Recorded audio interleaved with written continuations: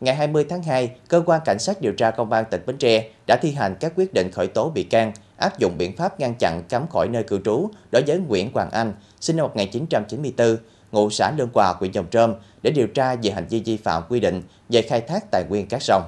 Theo đó, vào đêm 24 tháng 10 năm 2023, tổ công tác công an huyện Chợ Lách trong lúc tuần tra trên tuyến sông Cổ Chiên thuộc thủy phận xã Phú Phụng đã phát hiện bắt quả tang Nguyễn Hoàng An cùng một đối tượng khác điều khiển ghe cây khai thác cát lòng sông trái phép với khối lượng cát hút trộm là 8,9 mét khối. Do trước đó cũng với hành vi tương tự, Nguyễn Hoàng An đã bị Ủy ban nhân dân huyện Bình Đại xử phạt hành chính số tiền 5 triệu đồng. Mặc dù đối tượng đã nộp phạt nhưng cho tái phạm nên Nguyễn Hoàng An đã bị cơ quan công an khởi tố.